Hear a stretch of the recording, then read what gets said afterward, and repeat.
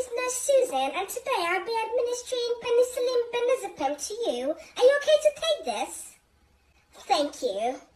Okay, you are gonna feel a sharp scratch. It shouldn't hurt too much.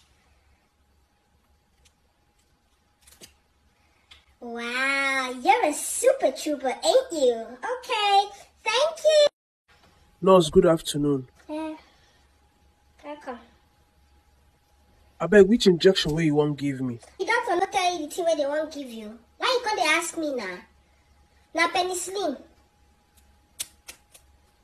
I beg, come out your trouser. Face your nyash this side.